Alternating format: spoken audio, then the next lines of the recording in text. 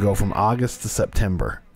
Now that you bring the context of the ankle injury in, the month off makes so much more sense. He he has no more time to waste. No, he's like, I gotta Like he's like. I'm I gotta start. Like Yeah. it's now or never.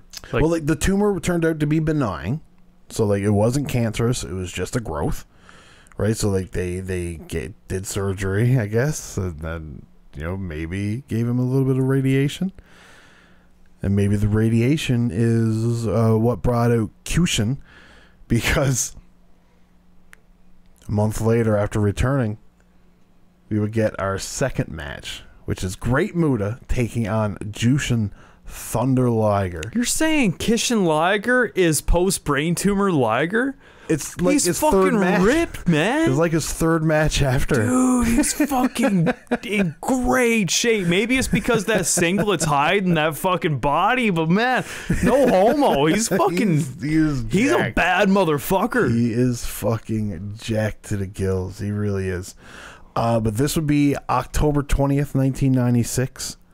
Literally like a month after returning. Uh, this is New Japan Super Grade Tag League, which is the tag league of today, just called Super Grade. Uh, it's from Kobe, Kobe, Japan, in the World Hall. 6,800 people in attendance. We would also have a little bit of a, a influence here. Uh, Rick Steiner is in a tag team match against uh, Chono and uh, Saito. Uh, Manabu Nakanishi takes on uh, Ohara. Kojima takes on Tenzan. Uh, Kensuke, Kensuke Sasaki. Sasaki, I don't, I don't know, how, I don't know who this is. And Riki Choshu takes on Scott Norton and Hashimoto. So you know, this, no, not a, not a crazy thing because it is a tag league, but like the match of the night is Muta and Liger. Uh, Muta's in white. Oh, sorry, in black, Liger's in white. Good, evil. Right, so like they they start off by telling the story, and then like there's a reason why I mentioned that he was trained with Muta. It's like these guys go back from the day that they were started training in wrestling. You know what I mean? It's like they were in the same class, so like it adds a lot to the uh, just the aura of this match. Is like at the beginning when like Liger's like crouched in the ring waiting for Muta, and then Muta comes out, and there's that angle where they're both staring at each other. It's like this is the greatest thing of all time. This is so fucking dope because both of these guys are just like the ultimate of theatrics in Japan. It's just oh, fucking love it. Absolutely love it. everything about like the first five minutes of this match is just so dope. I thought they laid this match out so differently than any other match. Yeah. And the fact that the student and the teacher plays a role in this match as well, because, like, in a way where Liger, he's outpacing Muta. Yeah, So M- Muta cannot match up to how Liger fucking moves around this ring, like his footwork and all that kind of jazz. But Muta's fucking tricks frustrates Liger, like just immediately after Muta ends up getting frustrated with Liger. Yeah. And like you'd have that constantly in the match and Then that's basically the whole story is Muta trying to get Liger to come outside so he can take advantage of him being outside and get the one up on Liger because Liger's way too fast for Muta. Yeah, and then like, oh well, I guess we'll get into the the ring underneath the ring crawling and like the maze and bullshit like that. I just like, love that was really out of place. Like Muta crawling under the ring, and then, to my knowledge, first ever like spot under the ring that I've ever seen. Like you know that like it could, had to have been. I'm sure we've went under the ring camera wise since. But I don't recall anything before '96 of just like a camera going under the ring and showing Liger crawling on his hands. It was knees. so fun. It was so fun, and I was like, "Where did Muta go? Oh Where my he go?" god, we can see the under the ring now. There's no hiding it. He's Yeah. he's not here. lots of cables. Lots of cables. Lots of cables. But yeah, no, uh, I really like that aspect of it. It tells a really good story. Uh, I also really like Muta lunging at fans too. Like I was like, oh, that's fucking great. Like a fan, obviously a fan said something. He just ah, does this like little cat hiss that he does. It's fucking dope. I really liked um, when Muta would pile drive Liger through a table over the guardrails, and the table's broken, mm. and he tries to use it again. Oh. He purchases it up to the ring post, and it just falls down, and the crowd just starts giggling. Another instance of giggles. yeah, Yeah, I loved it. I loved it's it. great. It's it's a great contrast because like the Japanese crowd is so serious, and if you can get a giggle out of them when it's not like a, I'm just going to use an example, a Toru Yano match, right? Like where it's not meant to be. It's it's this is not meant to be funny. It's their version of you fucked up. Yeah, It's yeah, just a giggle. yeah, yeah. I, I'd imagine so. I'd imagine so because I mean in Japan, like everything is so strict there. It's like a little giggle at you. I think it's like, respectful more than like serious and like strict. Yeah, I think it's like a sign of respect, just like the whole New Japan not giving anybody outside the fucking company title. you can have the never title. Because you're never getting the IWGP Thank title. Thank you. I knew where you were going with that one. That's what I've always seen the never title as. It's like, oh, they give the never title to the dude that they were never going to give you the title. It's like then Shingo Takagi wins the title. And it's like, okay, well, that's gone to shit. But whatever. they had no choice. Yeah, they really didn't. Ospreay injured. Ibushi injured. It's like, who do we give it to? Tanahashi? Evil? Ooh, no. Not again. Not again. We can't do that one again. But no, uh, the you know, Muta would use these tactics that we alluded to, uh, choking him with uh, with a broom, uh, and then he would Yeah, you know OG cleaner. yeah, and then he would you know pile you know just rip away the match, try to try to just hurt Liger, and so then he would rip off the mask, and this would. This would ultimately nobody knows what's going on. He's just lid there in the ground, you know, and Muta's just walking around doing his thing.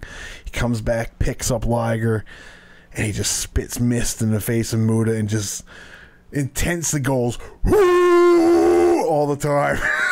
and I really fucking And then he it. like purposely rips off his whole torso bodysuit and he's got all these tribal tats and he's got his shoulder pieces still on and and it's just an iconic Mm-hmm. Visual. and his face is painted white and he's A kiss like figure, you know? akin to it. Well, I mean, like you see it in the corner of the the the hard thing, right? Like that's the further That's the full reveal, yeah. of, of Kushin when he would have a, a match as because he would do a run as Kushin Liger for a little tiny bit. he is Muta's doppelganger, like 100%. Oh yeah, no, it's, he, yeah, that's that's what happens when he enters the red room. Yeah, yeah. Yeah, Yeah. yeah. this, this is what replaces him. So this though, I like how they replayed this spot when he faced Minoru Suzuki a couple years ago as Kishin Yeah. Liger. But when Liger has the spike and there's a there's a fucking table in the corner, um, he's spiking Muta in the head, he's choking him, he's loosening the pads, he pile drivers Muta, goes up with a chair and he wraps a fucking chair around Muta's fucking head. Yeah, And then, yeah, so the table's in the corner. Muta gets Irish whipped into the corner, and Liger gets a head start. He dives at Muta. Muta gets out of the way, and he fucking stabs the table. Yeah, the table. It's great.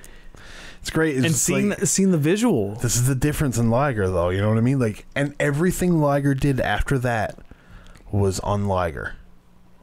Everything was with malicious intent. Mm-hmm. Everything just seemed more serious. Gone were the flashy moves. It's just I'm gonna beat your fucking ass. Kill. He's Yeah. in for the kill. Yep. As as he proved with the with the spike or the scissors, whatever the fuck it was. And as he misses the stab into the table on Muta, Muta busts out red mist instead of green mist. He does. The dreaded red mist. Not as dreaded as black mist, but Well, no, the black mist. That's that's that's almost certain death. But uh, I don't think uh, I don't think Malachi Black uses the right black mist.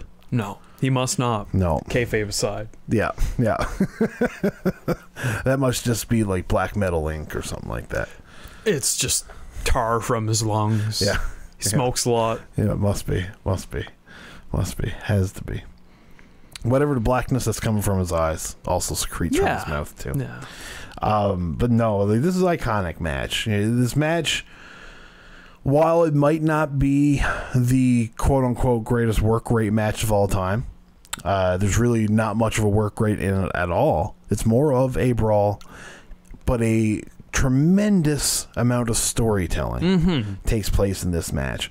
And without without storytelling, you can't have wrestling. You know what I mean? Like, and obviously, without wrestling, you can't have wrestling. But you know, you need both of it for it to really shine. And and both of these guys are 100% compatible in having a wrestling match to let the story shine through. And it's, it's great. And you can tell Muta's knees aren't the greatest here. You know what I mean? He's starting to rely on smoke and mirrors, and he'll just break out the one moonsault and then call her good. You know, because that's how he would end up beating Liger. He would stab him with his own utensil and then moonsault. Uh, but no, it's a fantastic match. Absolutely fantastic. Yeah, I thought it was just really unique, you know, like it, it just so creative and the way that they paced it out. I, I loved Yeah, every moment. I agree. I agree. Like it, it starts off a little slow, and then but like it's it's it's Muta trying to just like dismantle Lager, and knowing after you've seen it before, it's like oh, Lager's going to get his revenge. But yeah, no, he would make uh, three more appearances as Cushion Lager. Uh, he would uh, take on uh, Bad Boy Hido in New Japan in 2006. Story was that Hido had cut a piece of Lager's hair and Lager vowed revenge, so he transformed into Cushion Lager. Uh, June 16th, 2012, in Dominion, Lager made a rare appearance as, as Cushion Lager when he and Tiger Mask defeated Suzuki Gun, which was Taichi and Taka Michinoku, to win the vacant IWGP Junior Heavyweight Championship. This is because Taichi had cut up pieces of his mask. And then again, obviously, in 2019 against Suzuki. And uh, Suzuki wouldn't do anything with his mask. Just taunted. He was just like, Lager, like, you're retiring. You do not belong in the ring with me. What are you doing? What are you thinking? And he would just goad him on, goad him on until he would come out as Cushion Lager. And it's probably like the scariest incarnation of Cushion Lager. He's all bald and just looks like a dead baby. Oh, Tyler, you okay? So if you want to talk about dead babies, I didn't say that, but okay. David Bowie released an unreleased album from 2001 called Toy, and it's a photo of a baby with a very 2001 like photoshopped David Bowie face on the baby. now that's a that's a that's, a creepy. yeah very creepy. That's creepy. That is a dead baby.